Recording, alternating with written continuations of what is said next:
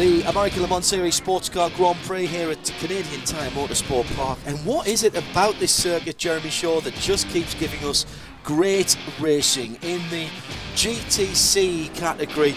Once again, a fantastic battle, and the 22 WeatherTech car coming out on top, but was pushed all the way. It was, and just about all the cars led the class at some stage or another during the race, it seemed. But yeah, uh, Jeroen Bleekemolen in there, he kept a level head at the end when he had Spencer Pumpelly closing in rapidly. In GT, a return to form and a brilliant one for the SRT Viper squad coming back to the championship second and third. But slick pit work and some great defensive driving late on, giving the win to the number four Corvette.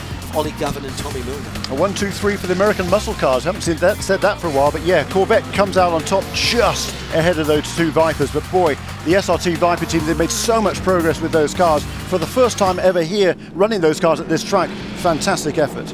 A, prototype challenge, the Continental Prototype Challenge uh, category normally gives us a slightly a closer result than what we had, but the 05 core Autosport car comes out on top ahead of the 81 and the 8. Colin Braun was the class of the field all weekend, but you've got a feel for RSR racing. Duncan Ende did a sensational job once again in the first stint, and then Bruno Junqueira had problems before he was able to take the wheel of the car.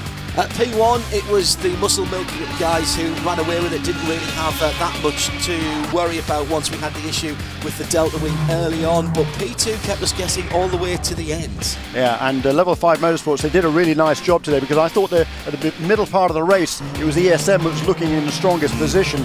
But Level 5 came back a great last stint by Marino Franchitti. Well, uh, from one of the fastest circuits on the LMS calendar to another, it's the very long four miles of the Road America circuit that will challenge our drivers and teams next. That's three weeks' time. Join us for more action in the American Le Mans Series presented by Tequila Patron.